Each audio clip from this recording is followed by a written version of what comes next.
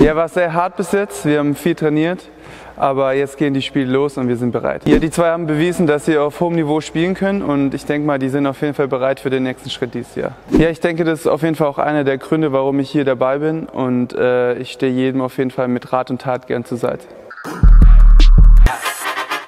Liebe Fans, wir sind bereit für die Saison. Ich hoffe, ihr seid's auch. Let's go!